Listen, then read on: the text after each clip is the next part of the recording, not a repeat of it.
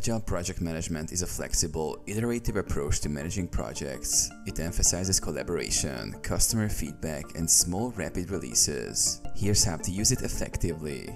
Understand Agile principles. Agile focuses on customer satisfaction, accommodating changing requirements, frequent delivery of working product, collaboration, and sustainable development. Choose an Agile framework. Popular frameworks include Scrum, Kanban, and Lean.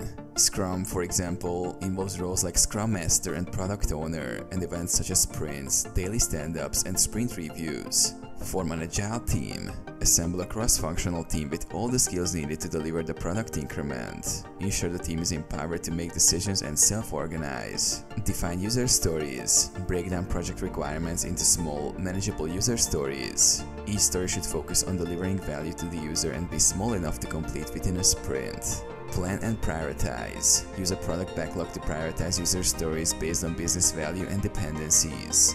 Plan sprints during which the team will complete selected stories. Conduct daily stand-ups. Hold short daily meetings to discuss progress, identify blockers, and plan the day's work. This ensures continuous communication and quick issue resolution. Review and retrospect. At the end of each sprint, review the completed work with stakeholders and gather feedback.